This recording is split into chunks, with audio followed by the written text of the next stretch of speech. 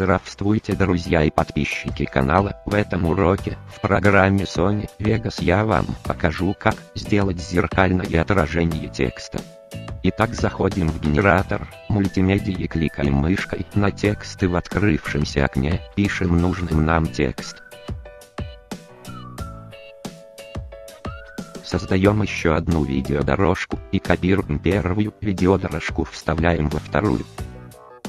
Здесь заходим в панорамирование, кликаем правой кнопкой мыши и выбираем отразить по вертикали, далее при помощи мышки спускаем текст вниз и между ними оставляем немного зазор,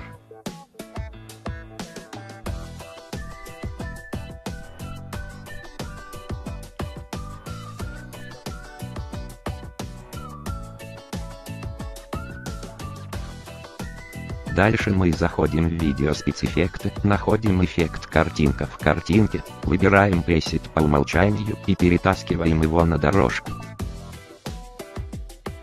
Здесь я выбираю форму прямоугольник и изменяю его размер, чтоб весь текст попал в кадр потом кликаем мышкой на вкладку ориентации и редактируем часть перевернутого текста, таким образом, чтобы он скрыл часть текста, далее добавляем размытость.